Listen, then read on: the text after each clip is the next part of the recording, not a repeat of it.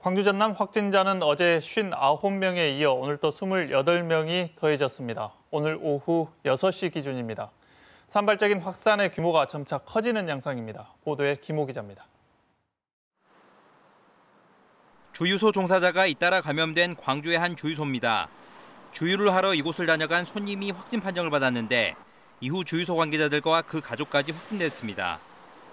손님이 사무실에 들러 주유소 관계자와 마스크를 내리고 마셨던 차 한 잔이 감염 원인으로 추정됩니다.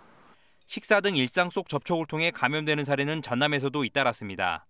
장흥에서는 결혼식 이후 주점에서 이뤄진 뒤풀이 모임 연관 확진자가 14명으로 늘었습니다. 또 유흥시설과 다방 관련 확산으로 전수검사가 진행 중인 해남군 송지면과 관련해서도 군의원 등 확진자가 추가돼 누적 확진자는 22명으로 늘었습니다.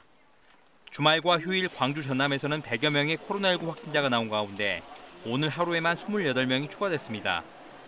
방역당군 집단 감염은 없지만 주변인들로 인한 감염이 끊이지 않고 있다면서 개인 방역 수칙 준수를 당부했습니다.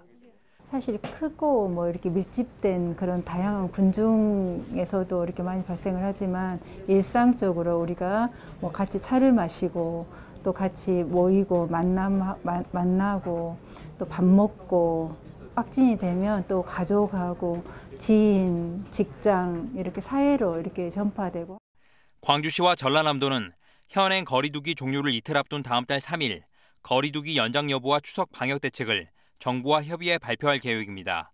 KBS 뉴스 김호입니다.